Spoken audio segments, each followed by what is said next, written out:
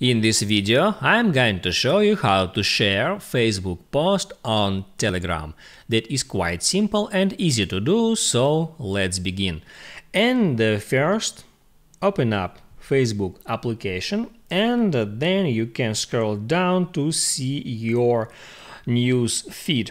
Here, let's say I want to share this post all I have to do now is to find that three buttons. Here you can find those buttons under each post that is like, comment and share. So just tap on share and in here tap at more options and then just tap copy to copy the link on that post to your clipboard.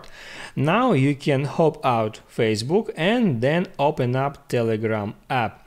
Now then you can open up any conversation, let it be that one, and here just double tap on text field and then hit paste. Then tap allow paste and now you can send this link to that person. Just tap on send button. That's it. If this video helped you out, don't forget to like and subscribe.